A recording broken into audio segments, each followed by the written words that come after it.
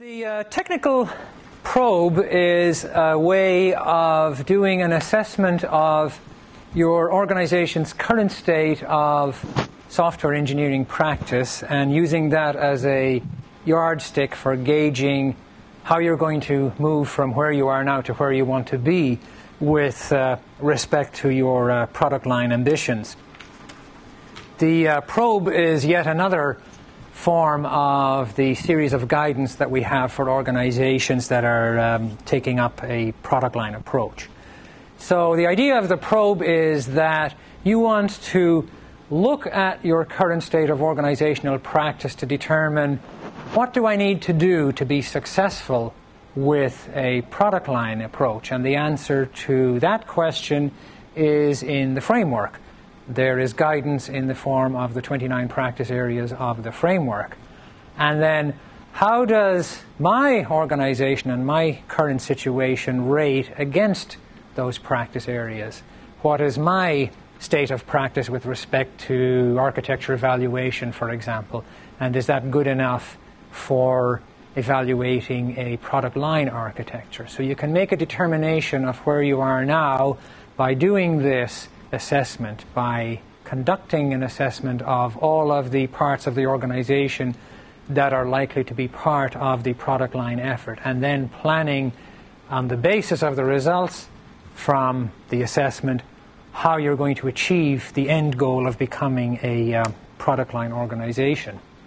So, when we do this for an organization, we use the framework questions as, or we use a set of questions based on the practice areas in the framework as the basis for assessing an organization and coming up with some recommendations for how an organization ought to proceed.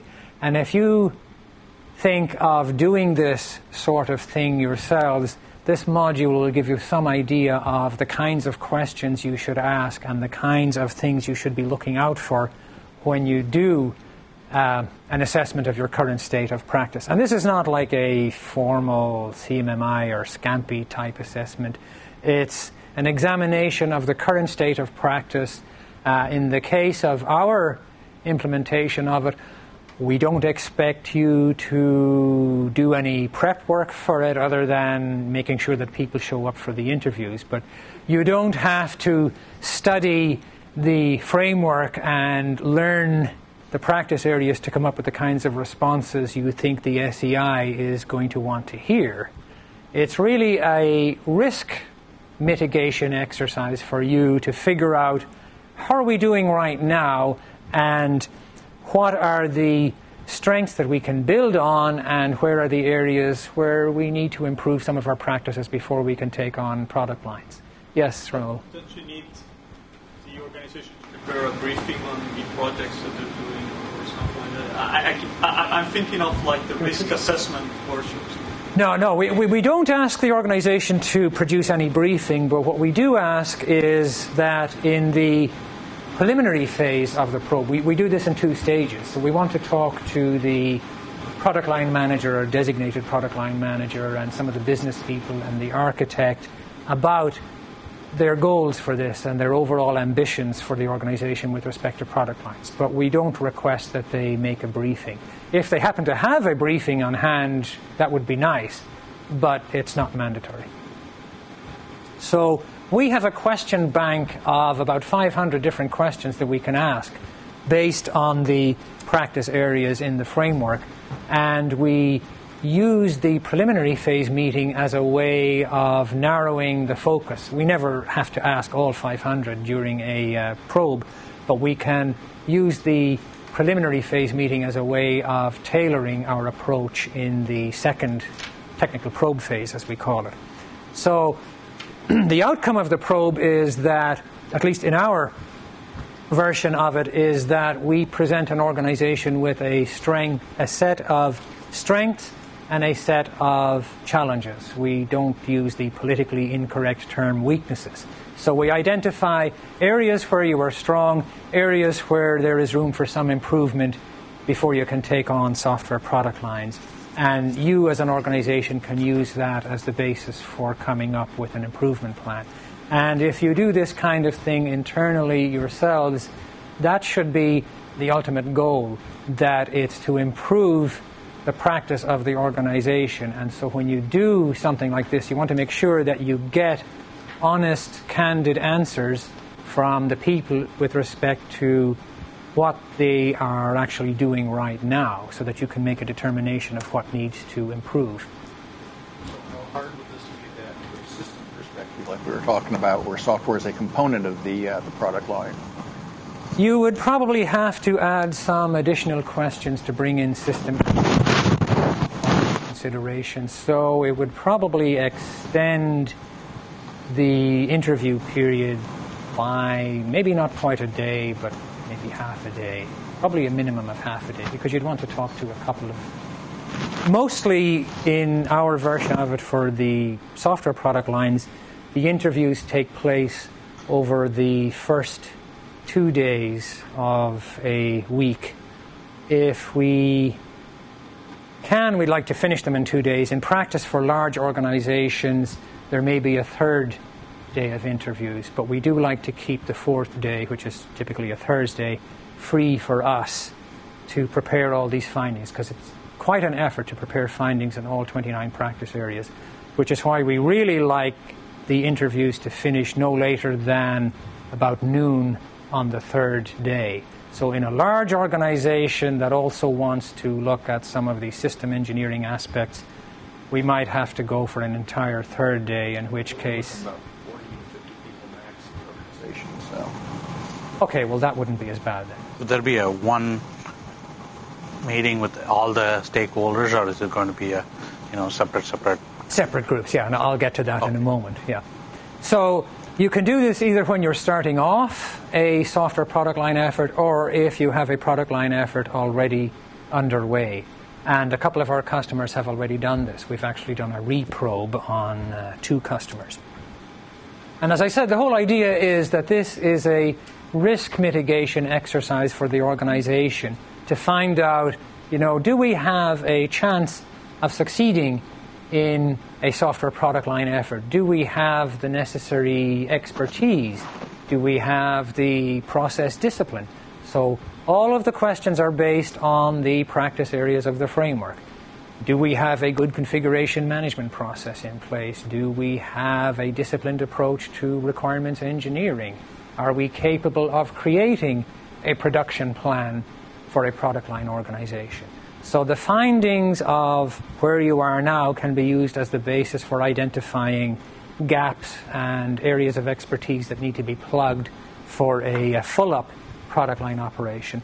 The other thing a product line probe can do is get the buy in of all the stakeholders because in the SEI approach, we like to present to everybody who's going to be involved in the product line and the product line probe a, an overview of what the product line probe is all about, what product lines are all about, and if possible, if we can get somebody from the organization, somebody at a high level, to talk about why the organization is moving towards product lines and why the participation of all the people in the audience is needed. So, everybody who participates in the product line probe shows up at a kickoff meeting and then they split off into individual groups. We'll talk to the the managers, we'll talk to the business people, the marketing people, the architects, the product developers, and so on over the course of the uh, three days of interviews. So we like to get a representative cross section from across the organization. And this whole idea of conducting a probe had its roots in some earlier work being done by the SEI on risk evaluation and capability based uh, assessments.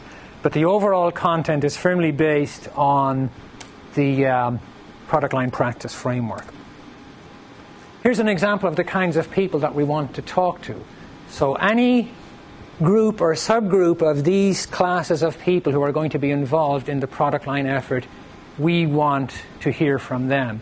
We probably can't talk to everybody in a large organization, but we want at least a representative subset of developers, marketers, architects, business people, and so on, to give us an idea of the current state of both the technical and the business practices of the organization. Uh, our method takes place in two phases.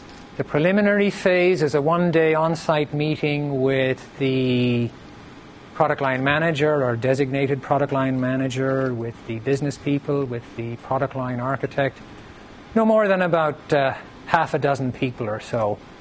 And then about a month later, and I don't think I've seen it occur any sooner than about a month later because it takes time to arrange the logistics for the main technical probe phase where we do the series of interviews.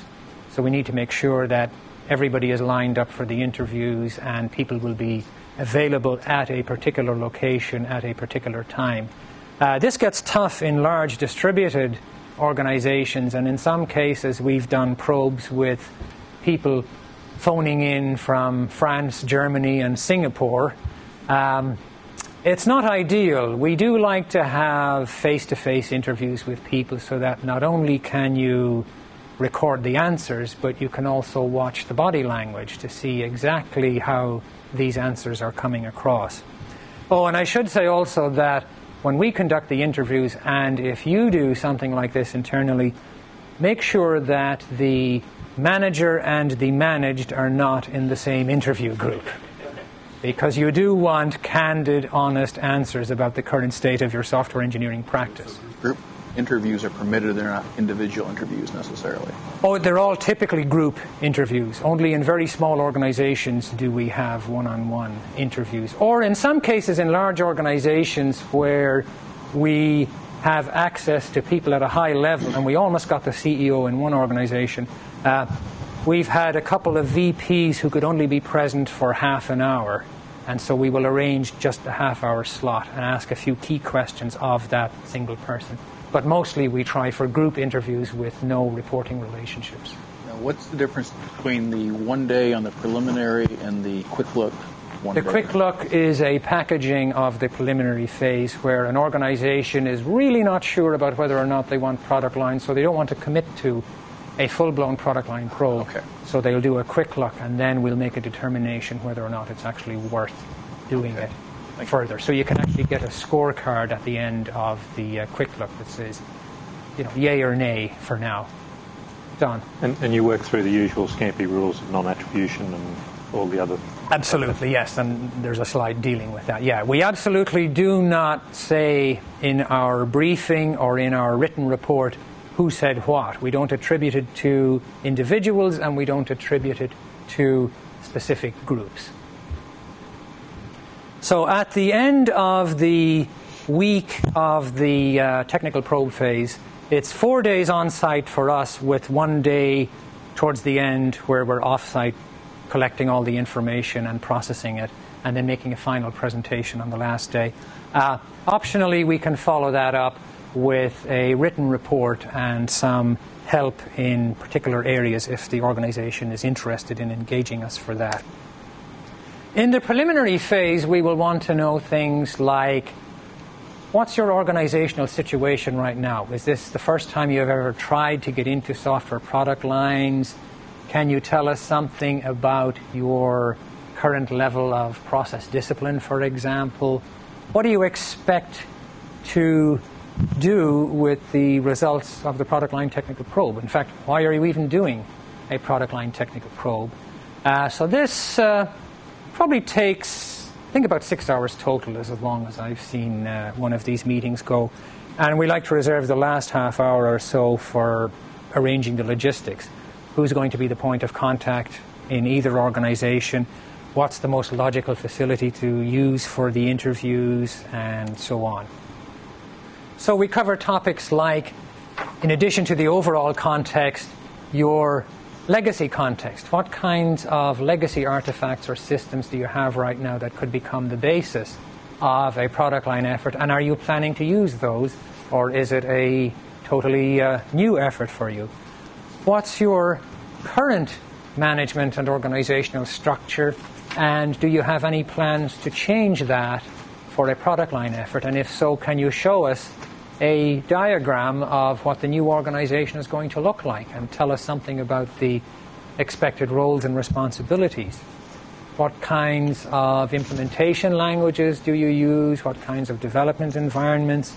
And if there's any documentation that you can provide us now so that we can examine it in the month or so before the technical probe phase, that would be useful to us to enable us to narrow the focus of some of the questions. If we find that we already have good documentation with respect to your CMMI assessments, for example, then we will short circuit some of the process questions in favor of questions in other practice areas. So here's where we get into your question, Don. When we interview people, we make sure that there are no reporting relationships in the interview groups and we do not report who said what or which group said what. And if you do this internally in some limited fashion, make sure you observe the same kinds of rules. And in fact, in one of the probes we conducted, we had a request from somebody in a business unit who was not a manager of any of the people involved in the interview, and in fact was not really part of the product line effort, but wanted to attend the interviews just to observe the process, we said no. No external influence. However harmless he thought it was going to be, we do not want somebody in the room who isn't part of the process. So we're very strict about that. Pardon? We had a request for a lawyer to attend one time. We did. For a lawyer to attend. That's interesting. We haven't had that. We've had the alternative where the CEO. We've had the alternative where we've been conducting a product line probe, and one of the people had to leave the interview because he was an expert witness in a court case involving the organization. He did warn us ahead of time that that might happen. That was unusual, but we have not had uh, legal eagles present mm-hmm. at this. So we will ask a series of scripted questions based on the framework.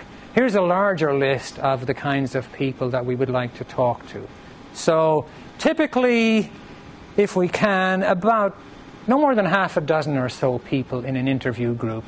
Sometimes it gets larger. I've seen groups as large as nine or ten people, which gets a bit unwieldy because in our version of the probe, the interviews are an hour and a half long. And we have lots of questions to ask, so it helps if you don't have, in my mind, half a dozen people or so is about a comfortable number. So we will conduct the interviews with all of the people who are expected to play a role in the product line. We will start consolidating our findings into a series of strengths and challenges with respect to each practice area. We will also try to generalize any observations that we have, for example, with respect to communication across the organization you know, when we interview the management team and they say, everybody understands the direction we're going and they're all on board, and then the developers and testers tell us that we had no idea what a product line was until we attended the uh, kickoff briefing. So things like communication breakdowns or overall um, lack of discipline are the kinds of things that we can get as an addition to the direct findings from the interviews. Also, when we conduct the interviews, we like to ask the same questions of at least two different groups so that we get coverage. So, if we are asking the architects about their architecture practices, we will also ask the component developers. What do you know about architecture, and how does what's going on in the architecture group influence or not what you are doing? That will be a finding. Similarly, when we're talking to the business people, we may also get some information about the marketing prospects for the product line and vice versa. So we're able to get answers to practice areas other than the ones we are directly asking about if we have, you know, more than a few people in an interview group. And as I say, we also like to ask the same questions of at least two different groups just for coverage. So at the end of the on site product line probe phase or the technical probe phase, we will report the results to everybody who participated in the probe. And at the discretion of the person sponsoring the probe, those results can also be presented to additional guests. And in fact, in a couple of cases, the business unit manager who was the sponsor of the probe invited other business unit managers to hear the final results of the probe. And that's at the person's discretion. But if that person had requested that other business unit managers sit in on the interviews, we would have had to say no. So strict confidentiality. and at the end, we can also, about a month or so later, follow up with a written report on our findings that will be delivered to the designated point of contact.